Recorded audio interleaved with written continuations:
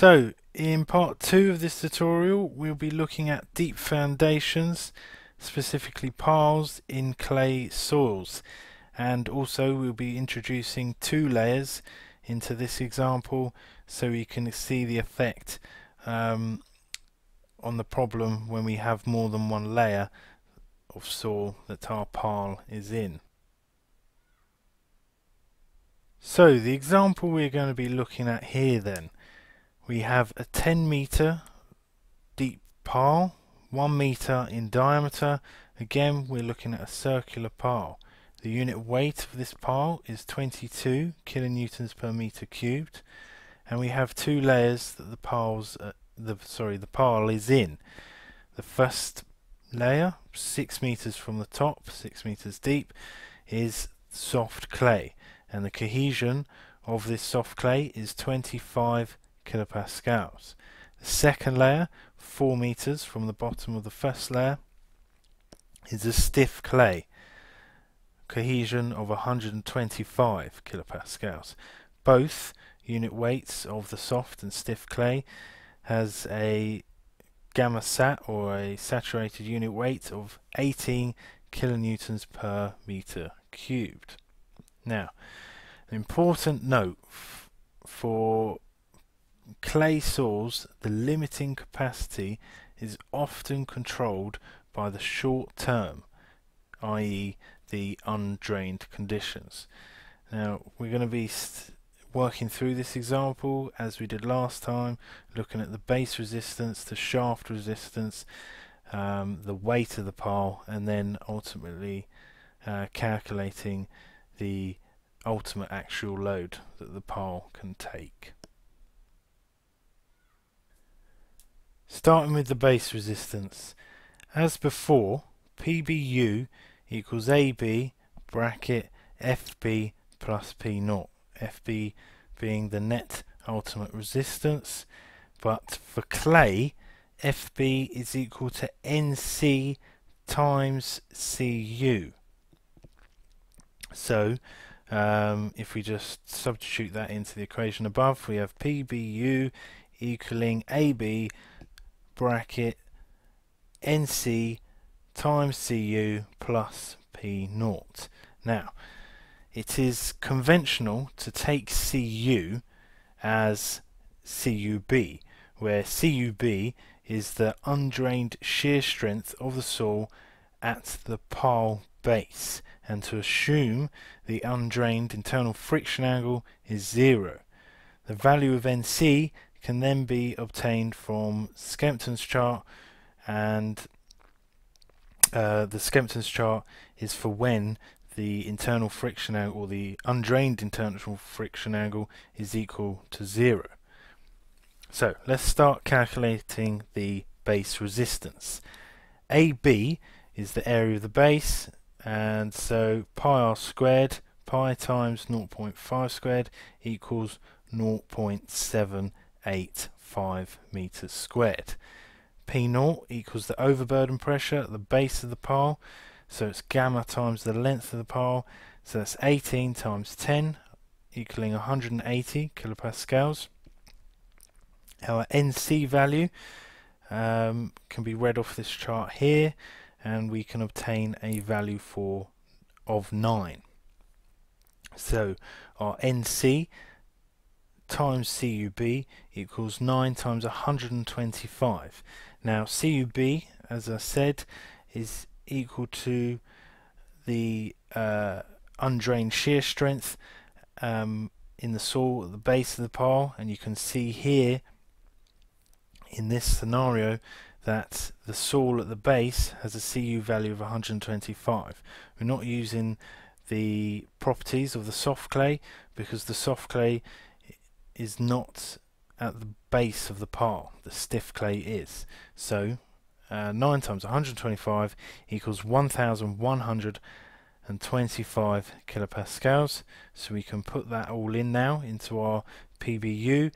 So PBU equals 0.785 brackets 1125 plus 180 close brackets equals 1024 kilonewtons for the ultimate base resistance of this pile.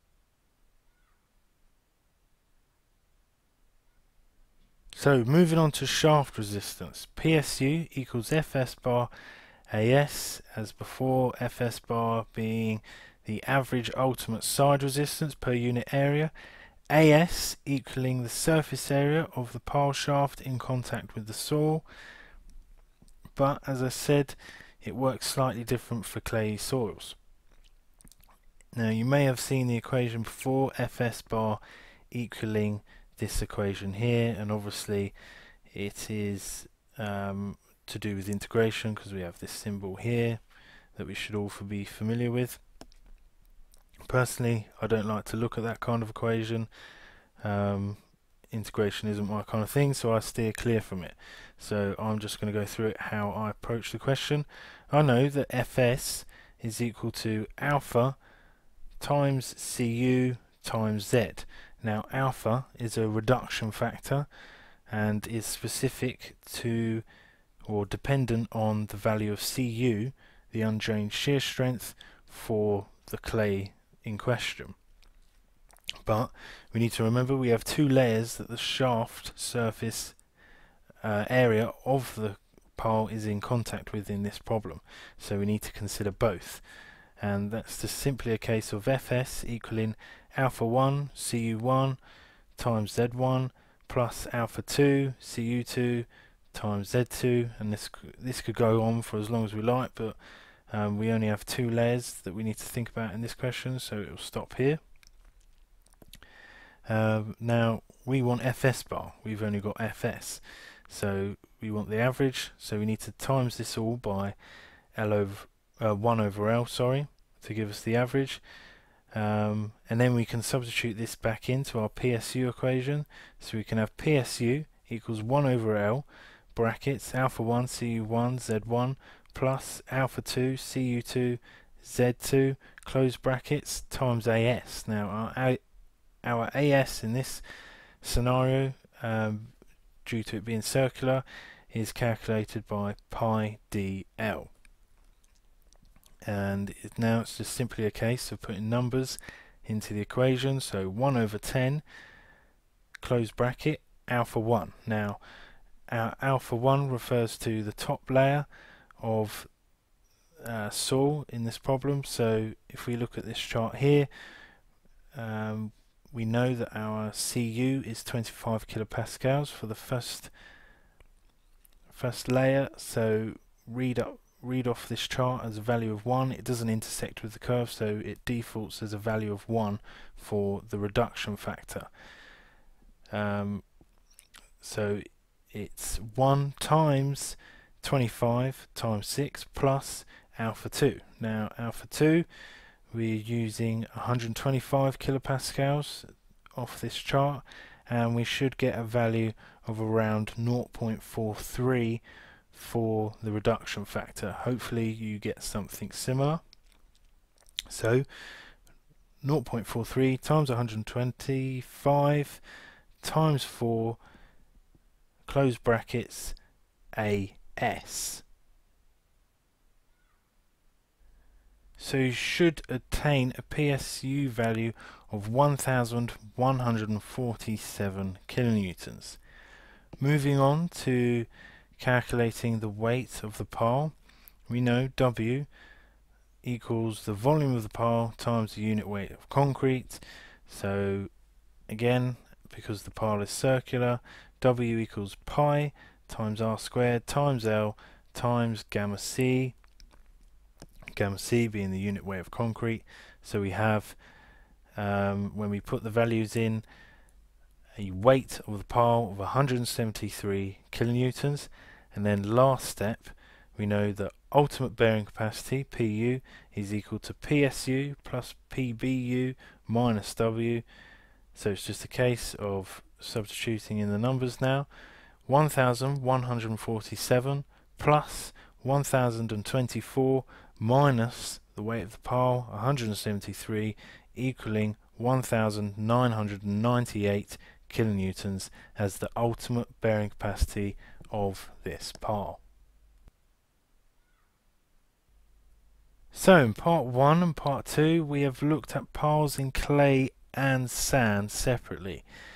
In the next video we will look at an example where the pile is situated in sand and clay layers and we'll see what effect this has on the design of our pile. Something to ponder though for part 4 of this tutorial. Let's just give ourselves a scenario. We have an oil rig out at sea. The pile foundations are partly above the seabed and partly penetrating the seabed. What effect do you propose buoyancy will have on PU, the ultimate bearing capacity of the pile? This is something we'll be answering in part 4, but something for you to think about for now.